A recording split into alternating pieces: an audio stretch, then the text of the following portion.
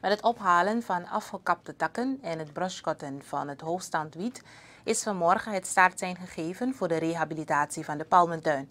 Het opknappen van de tuin is van eminent belang omdat zij een toeristische trekpleister is.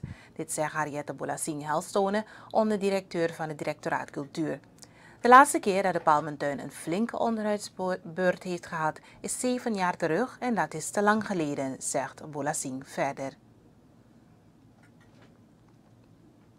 Een aantal uh, bomen zijn verouderd. Er vallen steeds meer uh, uh, takken en zo. Dus je kan zeggen, het werk overtreft de handen die er hier zijn bij Palmentuin. Dus vandaar dat wij het op deze manier doen vandaag. En het moet weer gaan herleven. Het moet gaan bloeien. Maar het begint bij een stappenplan, schoonmaak, onderhoud, verfraaiing en daarna iedere dag culturele activiteiten voor zowel scholieren, maar ook voor iedere Surinamer en vooral het gezicht naar buiten voor de toerist. Nou, het is nodig omdat er achterstallige werkzaamheden zijn.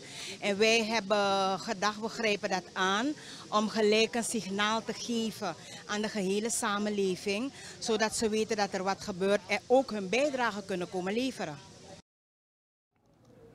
Vandaag is de start, maar hier blijft het niet bij zitten, weet Wolasing. Het directoraat streeft ernaar om niet langer dan drie weken bezig te zijn met de grote schoonmaak. Daarna zal de reguliere schoonmaak worden gecontinueerd.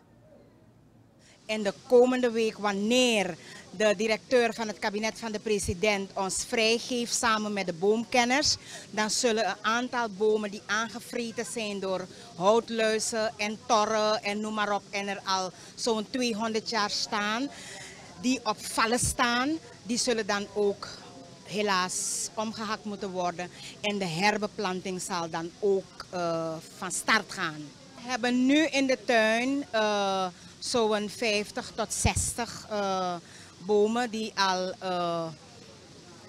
in de kweek zijn. En die zullen we herbeplanten. Ariette Bolasing Helstone, onderdirecteur van het Directoraat Cultuur.